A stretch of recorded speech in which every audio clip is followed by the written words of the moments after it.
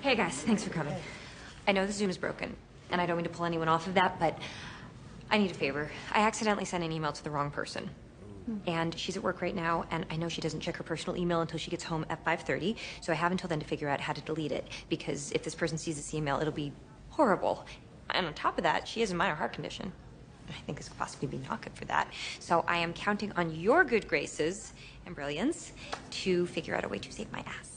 Truthfully, Jules, it's pretty impossible to hack into a server. And you don't know her password? No idea. Jules, I think there's only one thing we can do. What? Tell me I'm dying. Me and the boys take off, we break into your mom's house, and we steal her computer.